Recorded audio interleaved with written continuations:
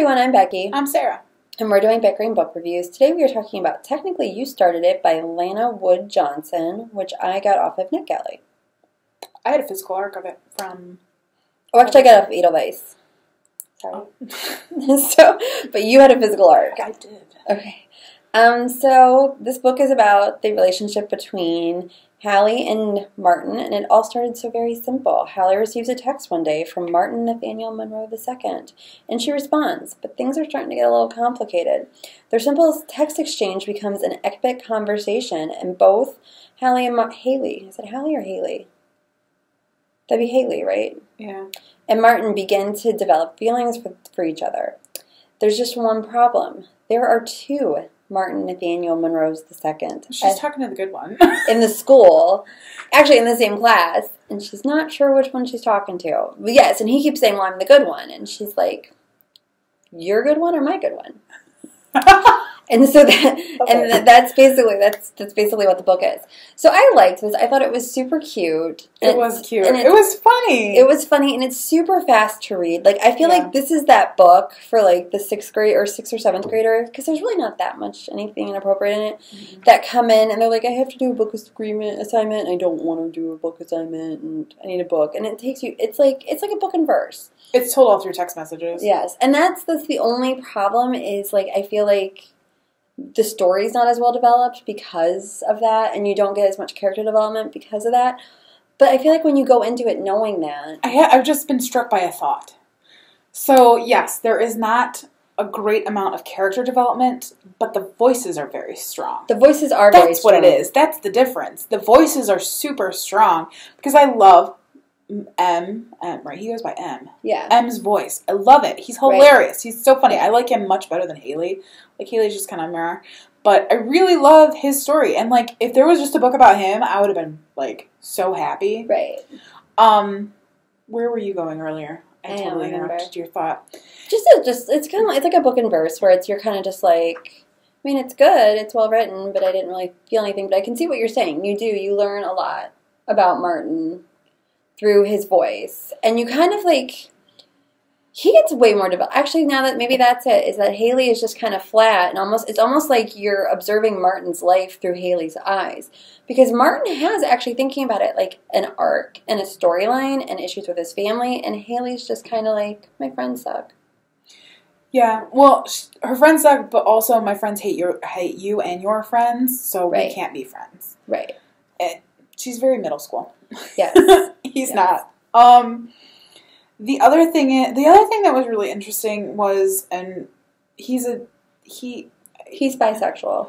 Okay, I was gonna say, can we say that about him, or do we know kind of that that storyline doesn't matter that we give away who it is? We'll mark it as spoilers. Um, anyway, he's bisexual, which is actually integrated very well into It the storyline It is. it's so well done because it's only a part of his identity. It's Right. not it's not a book about that part. It's just it's part of who he is and it's a part of his whole story and it actually frames his life and it it's so realistic and so well done. Well, and he also talks like about how he realized that, and it was just like this is what happened to me, and I think that that's relatable for kids who's going through that. And then Hallie says, "Hey, Hallie, Haley? I think it's I don't know. I'm very bad at that because some people spell it one way and say Hallie, and some people spell it the same way and say Haley. Um, so she says It's that Hale with a Y. So Haley. right? Yeah, Hallie, yeah. Um, she says that she's demisexual. Is that what? Which I had never heard this term before, and I looked it up. And then she's talking about how she doesn't become physically attracted to somebody until she's emotionally connected. And I thought that was a good thing, and I thought that was something to show, particularly teenage girls, that that's that could be what's going on. That's an option. That if you're not like lusting after all the same boys that your friends are, this might be why.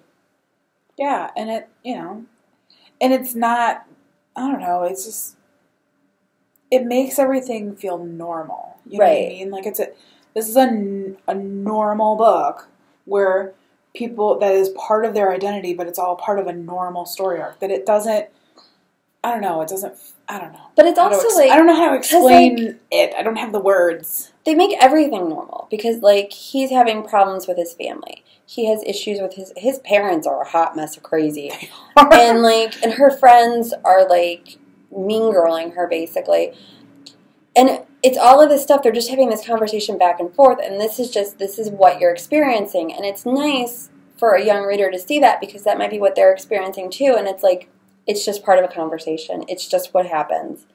And that's kind of like it does make this whole which I didn't think of that until you said it, but that actually it's it makes it kind of nice. Well, and like the more that we talk about this, I think it's two different books. I think that's why it didn't work. Like it didn't it, it didn't reach its fullest potential because Martin's Martin's more of a teen book and Haley is more of a a children's tween book. But when you look at it that way also because they're both like 17, Martin's life was more YA drama and Hallie hadn't experienced that yet. She had this very like sheltered her parents were very supportive and then all of a sudden like the training wheels started to come off and she's got to experience stuff and that she had this person to talk to. Yeah, I guess I'm getting more back with back into like the typically you're going to find the mean girl angle in a tween book as opposed to your older teen book like what he would be his Yeah, but a lot of teen books have about your friends turning on you. I know, but it felt far more tween. I think she I'm just felt this- tween. I'm reading this book about this babysitters club, not the babysitters club, about a babysitters club, and it's it's like literally the same issues with the friends, and it's a J book. Yeah. We should just rate it. Okay, So our rating system starts at the top with five unicorns, we go down to two unicorns. If you don't like it, it's a horse. I'm at three unicorns. I'm like at a three and a half. So like I I can't decide. I've been like ever since I finished this book like two weeks ago, I keep going on Goodreads and I'm like, should I rate it a four or I'm gonna go with a four. Just because I it, it was different. And so that is where we are and technically you started it. All right, see you around. Bye.